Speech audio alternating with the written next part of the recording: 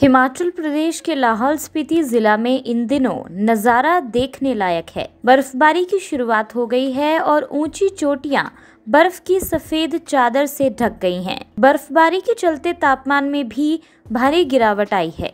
इलाके में सुबह शाम ठंड भी काफ़ी बढ़ गई है। हिमाचल से जुड़ी हर बड़ी अपडेट के लिए बने रहिए E W N twenty news के साथ।